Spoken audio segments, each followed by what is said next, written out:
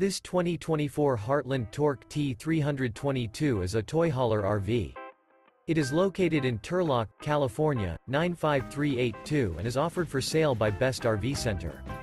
Click the link in the video description to visit RVUSA.com and see more photos as well as the current price.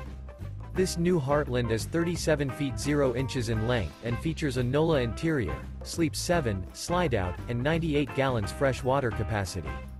The floor plan layout of this toy hauler features bath and a half, front bedroom, outdoor kitchen, two entry, exit doors.